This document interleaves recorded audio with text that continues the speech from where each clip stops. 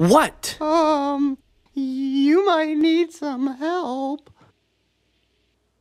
Do you want to help me with the marketing? No, but I know a good therapist. Hmm. Ow, worth it. I'm gonna eat your lunch.